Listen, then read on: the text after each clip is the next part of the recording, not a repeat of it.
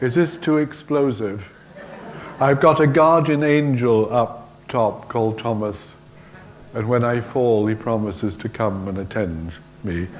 Um, thanks very much, Peter, for your very generous introduction. I think uh, when you hear such um, gracious introductions, the wise thing to do is to leave immediately and keep your fictional reputation intact. Um, when people ask me how I am, I always say rather cautiously, I'm not at all bad in this vale of tears. And asking people here this morning how they were, was, I always got the same answer I'm grand. I'm grand. So from now on, I'm going to say I'm grand in the Grand Hotel. I spent months of my life talking with Jonah. I asked him a lot of questions about his vocation, and he asked me a lot about mine. I loved the conversation. He's an unusual teacher, dear friends.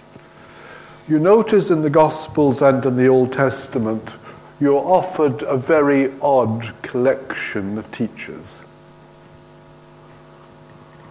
The woman of Samaria,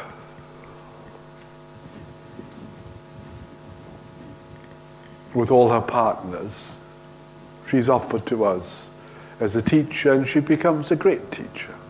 She converts the town. The man who spent all his time running around naked, remember him, scoring himself. And in the end, he's offered as our teacher. Jesus hopes that people will listen to him tell the story of what God has done in him. In the Gospels, anyone can be your teacher. Anyone. Even a little child. And Jonah is by far from perfect. He's not numbered, notice, among the major prophets, like Isaiah or Jeremiah or Ezekiel. He's placed in the second division. He's numbered among the minor prophets a subordinate to the greats. And these greats are revered, aren't they, for their great commitment to the Lord, for their fidelity to the Word of God, for their unwavering courage in the face of opposition. They're intellectual giants.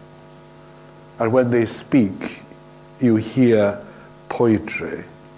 Jonah, by contrast, utters one line one line 40 days more. and the people of Nineveh will be destroyed. Clearly, the great ones have earned their place. Um, they're single minded and they're persistent. Jonah is neither single minded nor is he persistent. I find him stunningly modern He's like someone who's emerged from among us, you know, someone who has to struggle to find himself, someone who has to struggle to find a direction in his own life, and someone who has to struggle to allow God's way of looking at things to influence his own. He's always hesitant about life. He's temperamental.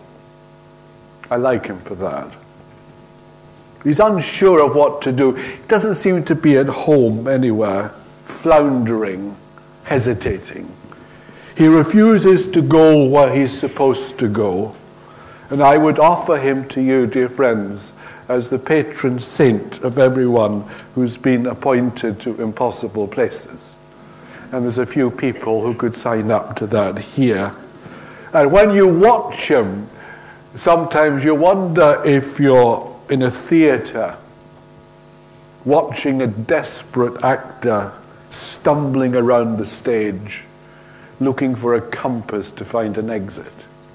Jonah wants to find an exit from God. And you say, how can you not like him, this minor prophet?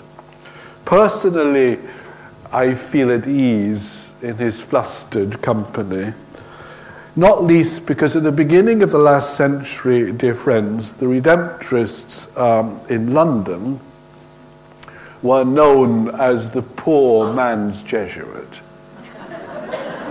not quite there, definitely second league. And when I, I gave a, a retreat to the Kiltegans, one of the Kiltegans said, Oh, he said, um, we were known sometimes in Ireland as Jesuits and Wellingtons. so clearly the Jesuits are in the major league. Um, and they certainly are now with the first Jesuit pope um, in the chair of Peter. And maybe that's why I love Jonah.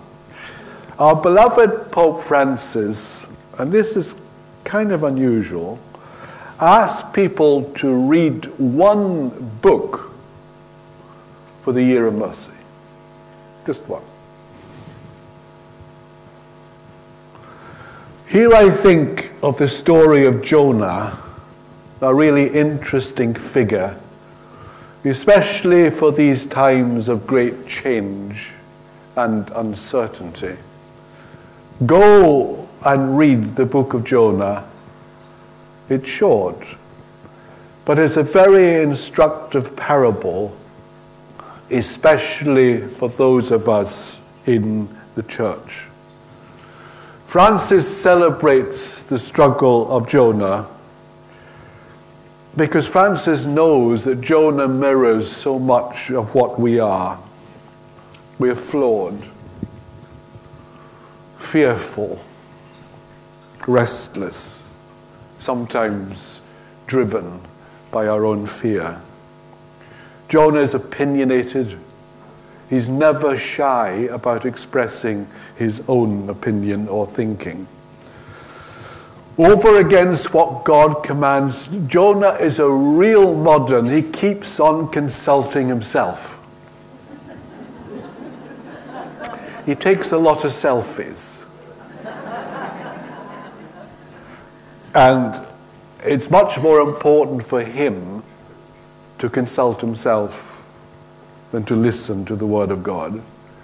He sees God as sometimes we do, dear friends, as a contestant, not as an ally or a guide.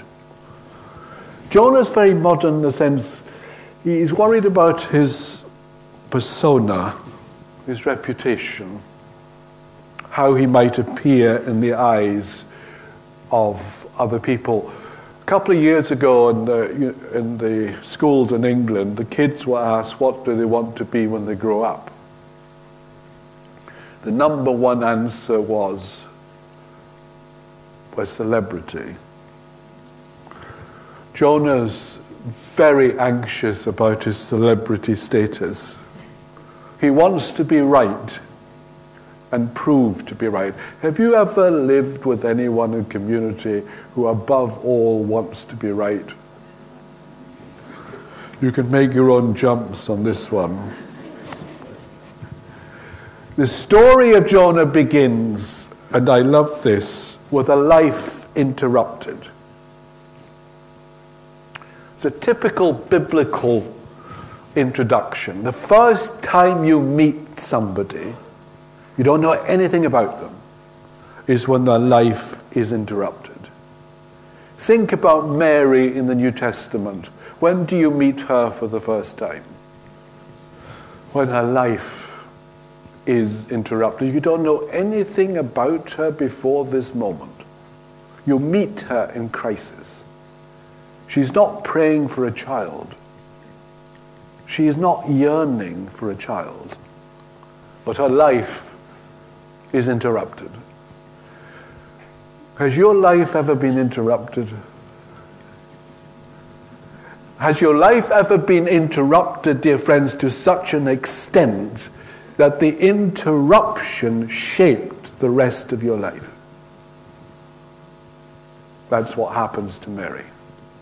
Her future will depend on how she responds to this interruption. Think of Joseph. When do you meet Joseph for the first time in Matthew's Gospel? When his life is interrupted.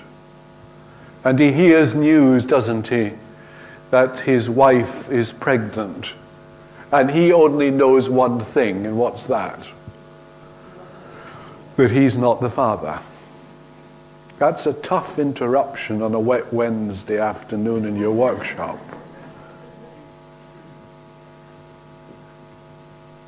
And he follows his gut decision to divorce her, and then his life is interrupted again.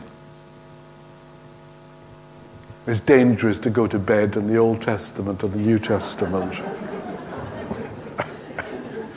you have to take notes. And his life keeps on being interrupted.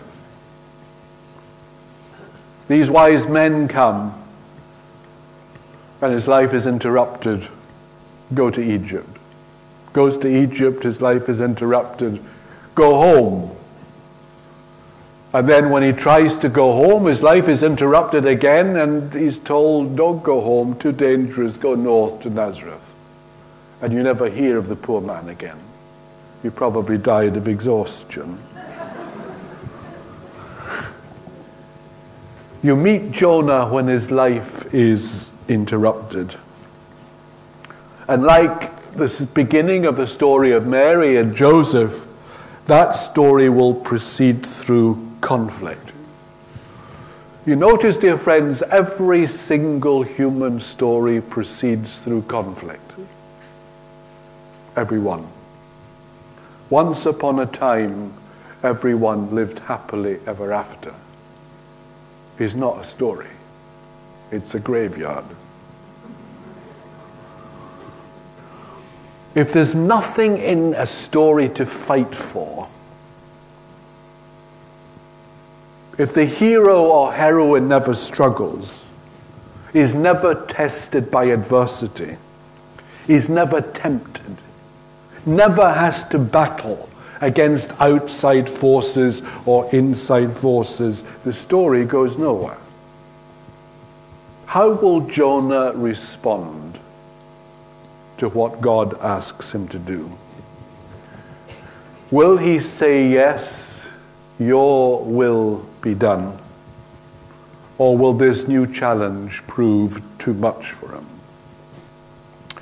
I made a pilgrimage when I was in the Holy Land to this place. It's a mound of rocks.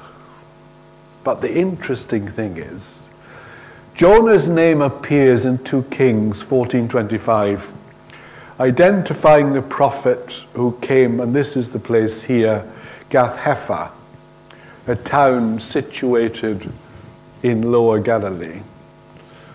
All that remains of the ancient town is a large mound. Archaeologists dug through it in the 60s, but there was nothing and they gave up.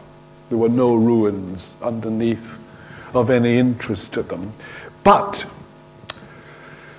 where Jonah comes from is three miles away from where Jesus comes from.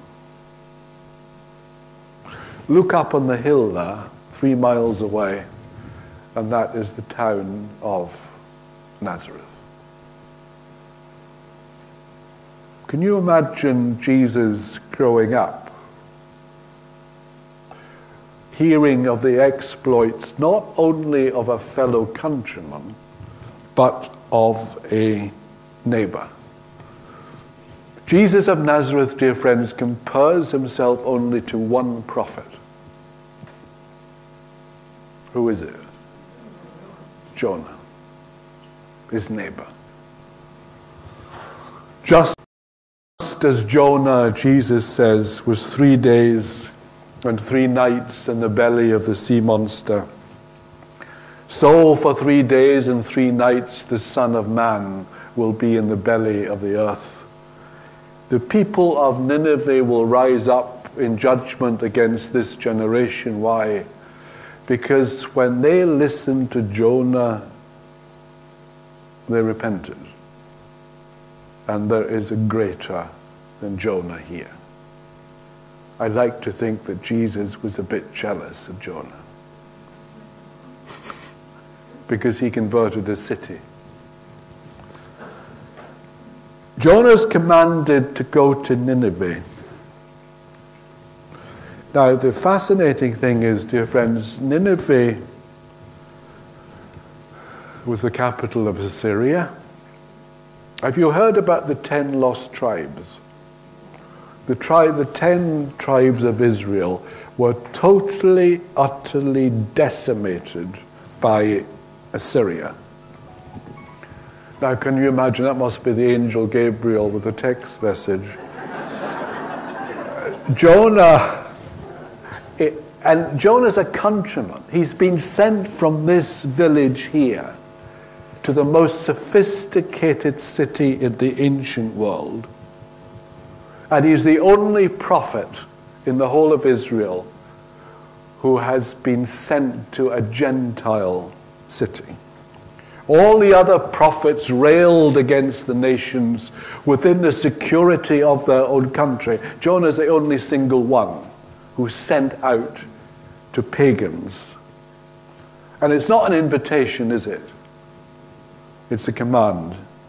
The word of the Lord came to Jonah, son of Amittai, saying, Go at once to Nineveh, that great city and cry out against it, for their wickedness has come before me. Have a look at the present map. On that map, dear friends, you see the most troubled area in our world today.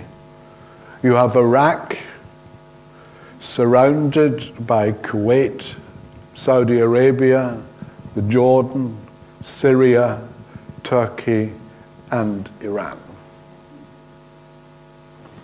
It's the hottest place in the world today. You see where Baghdad is? Go up north of Baghdad through Kirkuk up to the second largest city in Iraq today, which is Mosul. That is the ancient site of Nineveh. Mosul came back into the news, didn't it, a couple of years ago? It was the first city in the world to be dominated by ISIS, so called Islamic State. And what was the first thing they did in Nineveh? They blew up the tomb of Jonah, which is surprising since Jonah is honored in the Quran as a great messenger of God. There you have it, thanks to Google. God bless Google. Nineveh now, dear friends, is a suburb of Mosul. It was very rich, it was very sometimes the soldiers were so efficient, one historian called them the Gestapo of their day. They had a charism for cruelty and deficiency. And now, can you imagine that Nineveh there was destroyed in 632 BC? Okay? Now, think about this. It was left untouched until the middle of the 19th century.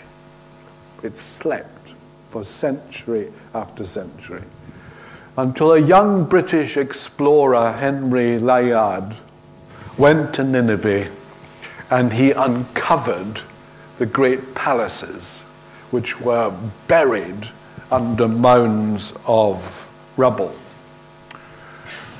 Have a look at, you see down at the right there, that wonderful carving. Have a look at this.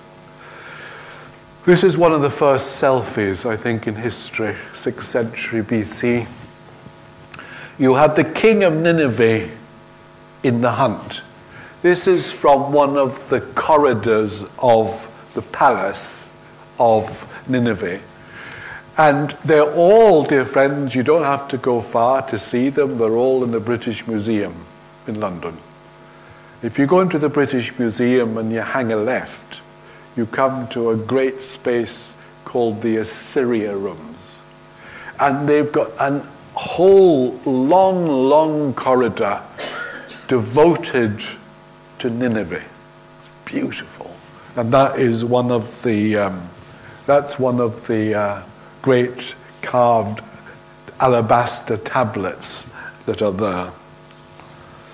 And of course, John is a countryman from Galilee, and he's been sent to this powerful nation to tell them in 40 days more they will be destroyed. Nineveh is north of Baghdad.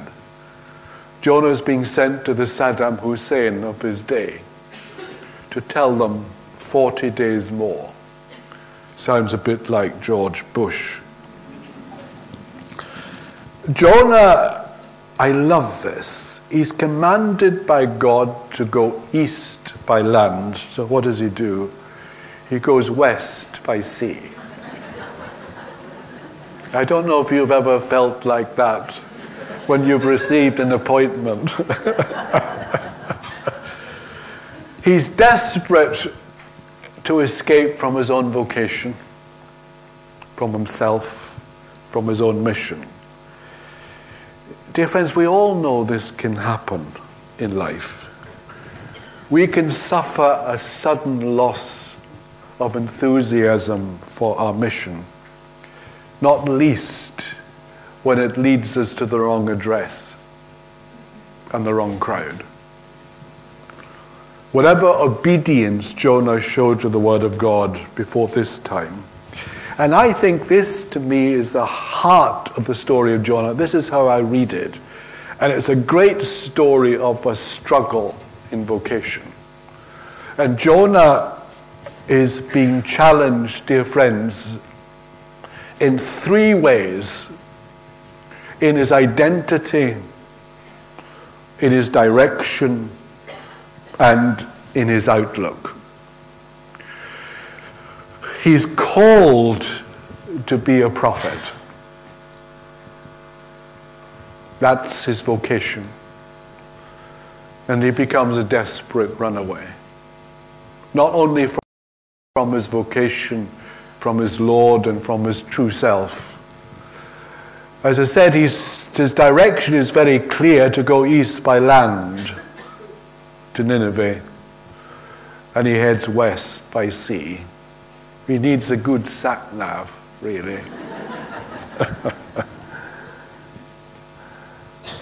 and if you're a prophet, often when you listen to a prophet, the first word he says is, The word of God came to me, and this word I tell you. They were men and women who were dominated by the Word of God. And now Jonah is dominated by his own fear. And that can happen in life. There's nothing extraordinary about that. Jonah's in meltdown about who he is, about where he should be going, about what shapes or influence or determines his choices in life. And, dear friends, I think he's a great teacher because each of us in turn has to face the three questions Who am I? What is my governing identity? What's the most important identity about me? Because we're all a collection of identities, aren't we? And when you're born, dear friends, you're landed. No angel interviewed you in the womb to ask you, my dear, what nationality would you like to belong to?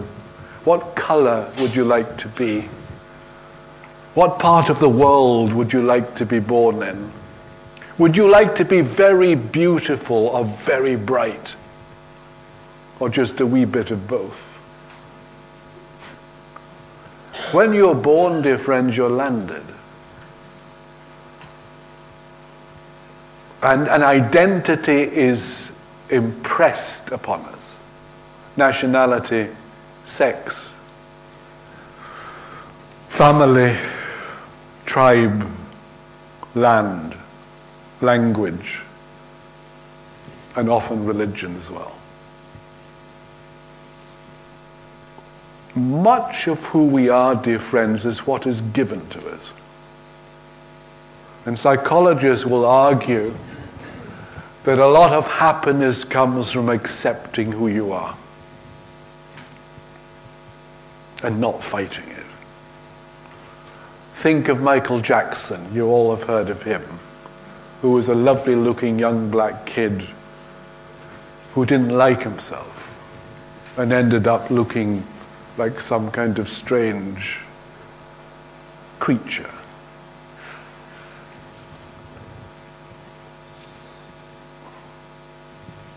I think the lived answers to those three questions, dear friends, determine the authenticity of our lives. I think the challenge for all of us today, particularly in the church, um, is to ensure that our identity, our direction, and our outlook are on speaking terms with one another. That the choices we make are consistent with who we claim to be. That the way we look at people and the way we treat people is consistent with who we claim to be. That the way we look at the world, the way we behave, is consistent so that our identity, our direction, and our outlook are together. When those three, dear friends, are in working order, we call that, don't we, integrity of life. When there's a coherence between them. And that's Jonah's great challenge, and I've, that's why I love his story. His challenge is to be authentic. And that in turn is our challenge. Jonah set out to flee to Tarshish from the presence of the Lord. He went down to Joppa and found a ship heading out to Tarshish. He paid his fare, it was nice of him, and went on board to go with them to Tarshish away from the presence of the Lord. Okay, you see Joppa there. That's just south of Tel Aviv today. Nineveh is 550 miles northeast. Have a look at Tarshish. They called it the Great Sea, we call it the Mediterranean. This would have taken a year's journey from Joppa by ship across the Mediterranean, calling in obviously at various ports on the way. Tarshish is in the southwest of Spain. The point being that it's seriously far away. So he prefers, as we all might, a package holiday for runaway prophets on the Costa del Sol to going to face his favorite enemies. And by favorite enemies, dear friends, I mean people that we don't have to work at to dislike. It comes effortlessly. and often with a measure of justification thrown in, so we feel good about it. Jonah has to leave his family, his country, and he hopes his God. Now, think about this, dear friends. In the ancient worlds, a lot of the ancient gods were limited to particular places. Jonah's God, after all, was called the God of Israel. And the big question is can you go to a place in the world where the God of Israel has no reach and no command? Where you will be safe away from Him? I don't know if you remember Naaman and Elisha. When Naaman was healed, the leper, remember what he did? He took two mule loads of the earth with him so that the God of Israel would go with him back home.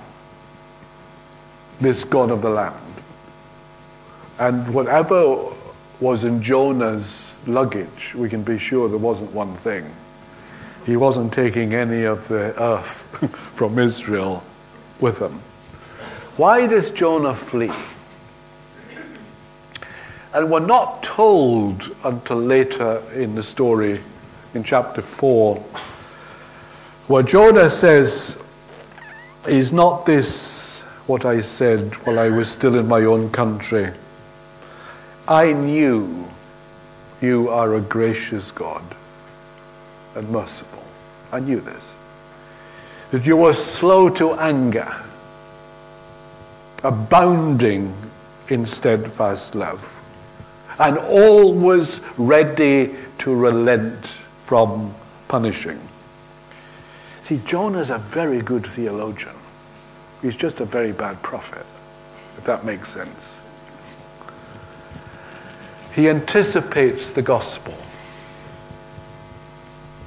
Jonah knows, as Francis knows, that it is the nature of God to be merciful. It's in his nature. Francis in Evangelii Gaudium, the church must be a place of mercy freely given, where everyone can feel welcomed, loved, forgiven, and encouraged to live the good life of the gospel. Like Pope Francis, Jonah believes in the stubborn, everlasting mercy of God. He believes that the mercy of God is his governing attribute and that God will not punish his favorite enemies. Jonah doesn't fancy going to Nineveh preaching the first traditional redemptorist mission. I don't know if you ever heard a redemptorist mission. We were supposed to be experts in hell. I still remember I was 11 years old and I remember a sermon on eternity. And the priest said, You will go to hell for all eternity if you die in mortal sin. He says, You don't know what eternity is like. Well, I'm going to tell you. He said, Think of the whole earth, the whole earth, the whole earth. And every 10 years, a blackbird comes and wipes its wing against the earth. Every 10 years. When the earth has been wiped away, eternity will only just be beginning. In the name of the Father and of the Son.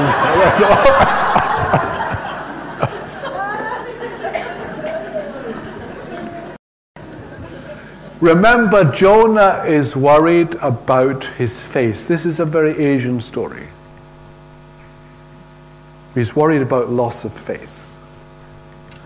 I don't know about Ireland, but in England there's about 15 murders every year, which people try to call honor killings. There was one recently. A young girl gets pregnant from someone who does not belong to her faith or race, and her brothers kill her. They feel obliged to kill her to save the face of the family. Jonah's worried about his face. Because if you lose your face, you lose you lose everything. And he's going to bawl at these people in Nineveh and assure them that in 40 days they will all be destroyed. And then God comes in, smiling, heaping mercy on everything in sight. What's Jonah going to look like? A Class A Egypt. And if there's one thing he doesn't want to look like, it's a fool. Jonah wants to be right above all things.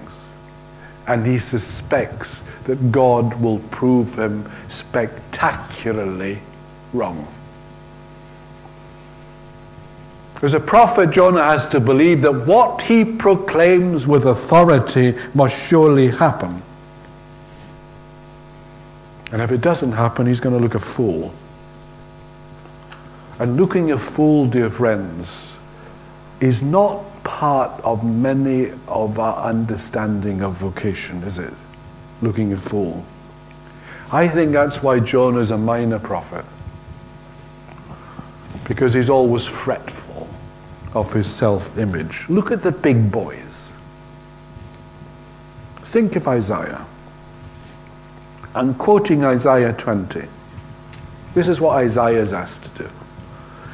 Go and undo the sackcloth around your waist.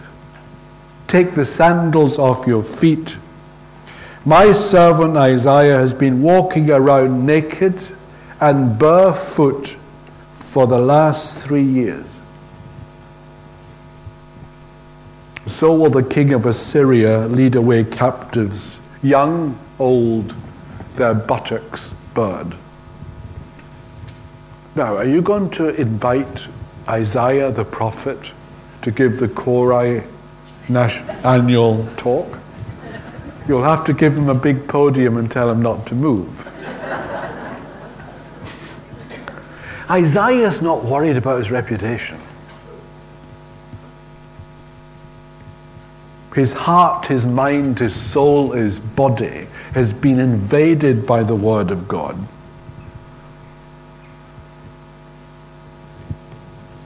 And he wants to tell the people when you look at me, you're looking at your nightmare.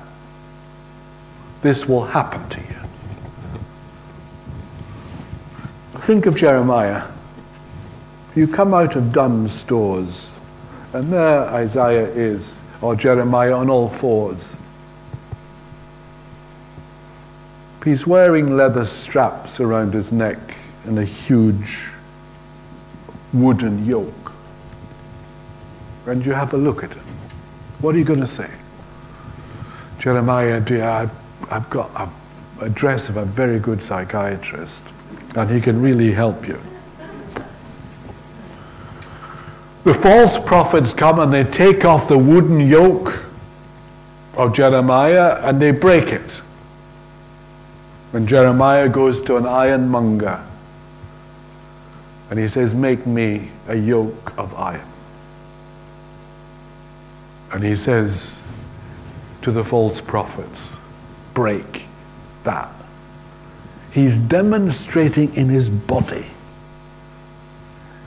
that the people will be treated like pack animals. They will be led, yoked out of their own country into exile. He's not worried about his reputation. He's not looking in the mirror saying, God, how am I going to look at this? He's been invaded by the Word of God. One of my favorites is Ezekiel. The Word of God comes to Ezekiel and says, Now make sure everybody's looking, right? Don't do this on your own. Make sure they're all looking. And when they're all looking, make a hole in the wall with a little knapsack over your shoulder. Make a hole in the wall and go out through it. Make sure they're all looking. So the people see Ezekiel making a hole in the wall and say, Ezekiel, look, there's two doors there, wonderful hinges. Doors are for going out and for coming in. Why on God's earth are you making a hole in the wall? Again, it's beautiful street theatre. He's symbolizing in his own body what will happen to his people. They will go out through the broken walls of their city into exile, carrying a tiny knapsack. By comparison, dear friends, our sensitive Jonah is not in that league. His energy is going to be devoted to protecting his persona, guarding his image. And that's why he wants to flee from God. You wish he'd read a psalm, beloved of us all. Or where can I go from your spirit? Or where can I flee from your face? If I climb the heavens, you are there. If I lie in the grave, you are there. If I take the wings of the dawn and dwell at the sea's farthest end, even there your hand would lead me, your right hand would hold me fast.